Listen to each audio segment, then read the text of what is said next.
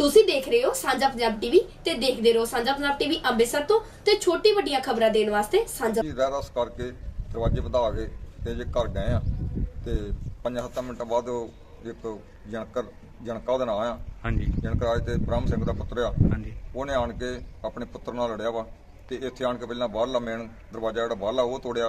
ਹੁਣ ਕਿ ਇੱਟ ਫੜ ਕੇ ਤੇ ਅੰਦਰਲਾ ਦਰਵਾਜ਼ਾ ਭੰਨਿਆ। ਉਹਨੇ ਜਦੋਂ ਅਸੀਂ ਡਾਕਟਰ ਦੇ ਕੋਲ ਦਵਾਈ ਲੈਣ ਗਿਆ ਸਾਂ ਅਸੀਂ ਵਾਪਸ ਆਏ 5-7 ਮਿੰਟਾਂ ਦੇ ਵਿੱਚ ਹੀ ਇਹ ਕੰਮ ਉਹਨਾਂ ਨੇ ਦੁਨੀਆ ਇਕੱਠੀ ਹੋ ਗਈ ਕੋਈ ਨਸ਼ੇ ਦੀ ਹਾਲਤ ਚ ਕੀ ਹੁੰਦਾ? ਨਸ਼ਾ ਰੱਜਿਆ ਜੀ ਪੂਰਾ ਫੁੱਲ।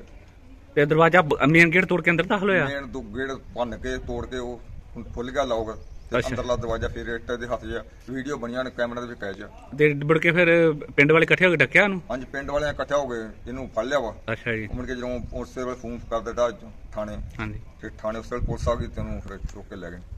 ਠੀਕ।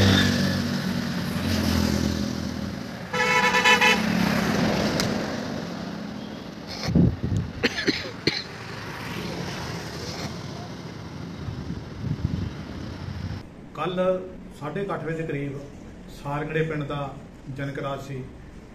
ਇਹਨੂੰ ਥੋੜੀ ਜੀ ਇਹਦਾ ਬੇਟਾ ਜਿਹੜਾ ਗੁਰਦੁਆਰਾ ਸਾਹਿਬ ਜਾਂਦਾ ਹੁੰਦਾ ਸੀ, ਉਹਨੂੰ ਥੋੜਾ ਜਿਹਾ ਰੋਕਦਾ ਸੀ।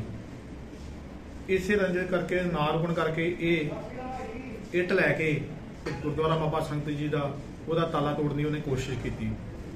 ਜਿਸ ਕਾਰਨ ਅਸੀਂ ਉਹਨੂੰ ਗ੍ਰਿਫਤਾਰ ਕਰ ਲਿਆ ਤੇ ਪਰਚਾ ਦੇ ਕੇ ਕਾਰਵਾਈ ਜਿਹੜੀ ਅਮਲ ਚ ਲੈਣ ਤੇ ਪਰ ਉੱਥੇ ਗੁਰਦੁਆਰਾ ਗ੍ਰੰਥੀ ਕਹਿ ਰਿਹਾ ਕਿ ਨਸ਼ੇ ਦੀ ਹਾਲਤ ਚ ਸੀ ਵੀ ਬੇਦਬੀ ਦੀ ਘਟਨਾ ਵੀ ਕਰ ਸਕਦਾ ਸੀ ਇਹਦੇ ਬਾਰੇ ਕੋਈ ਸਪਸ਼ਟ ਗੱਲ ਨਹੀਂ ਹੈਗੀ ਨਸ਼ੇ ਦੀ। ਫਿਰ ਵੀ ਜਿਹੜਾ ਵਾ ਇਹਦਾ ਮੈਡੀਕਲ ਜਿਹੜਾ ਉਹ ਕਰਾਇਆ ਜਾ ਰਿਹਾ ਵਾ ਜੋ ਵੀ ਗੱਲ ਆ ਉਹ ਫਿਰ ਆਪਾਂ ਤੁਹਾਨੂੰ ਦੱਸ ਹਾਂ।